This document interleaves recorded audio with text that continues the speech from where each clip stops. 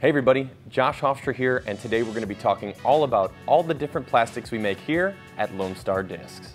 All the plastics we make here are high quality premium blends with wide ranges of different flexibilities and features that suit any player's needs. First up is our Alpha plastic. Alpha is the plastic that our flight numbers are based on. It's a durable, smooth, and high quality blend that is slick and firm. This is the stiffest plastic that we offer and is perfect for those Texas summers.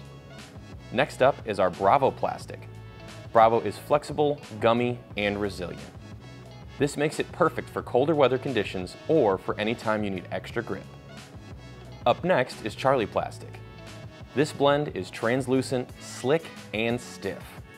Charlie plastic is commonly reserved for special events or commemorative discs. Our Founders plastic is the same blend as Charlie, but with added metal flakes. This is reserved exclusively for Tour Series and special event discs. Both Charlie and Founders are similar in feel to our Alpha blend with an ounce of added stability.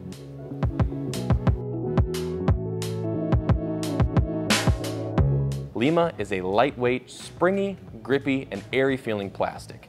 If left or lost out in nature, Lima plastic will biodegrade more quickly than other blends. Lima is typically used by juniors, age-protected players, and those looking to gain extra distance by using a lighter weight plastic.